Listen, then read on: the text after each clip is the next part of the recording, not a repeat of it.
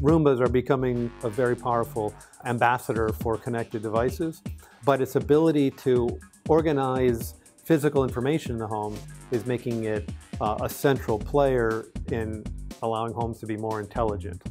We've upgraded our app and firmware on the robot to allow the map that the Roomba makes to ensure that it cleans everywhere in the home. So this is very cool because you can actually see where the robot has cleaned, but you also can see a little more information than just what room did it go into and where did it go. The robot is full of sensors. So this is a software upgrade that will be available to existing Roomba owners? Anyone with a 900 series Roomba will be able to upgrade their app and have this new functionality free of charge, of course.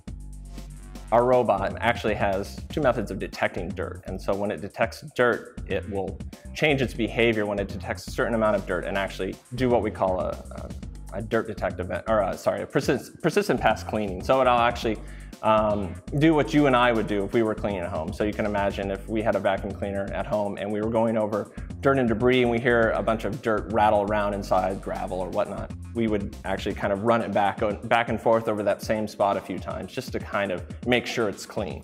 Roomba has that same intelligence, so that information, as it happens, will then populate onto the map.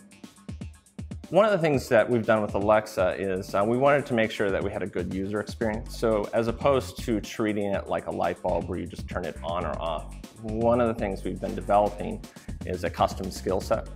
So basically we've been developing cus uh, custom utterances so that you can command Roomba to do more things than you would typically get with just, a, like I said, a light bulb.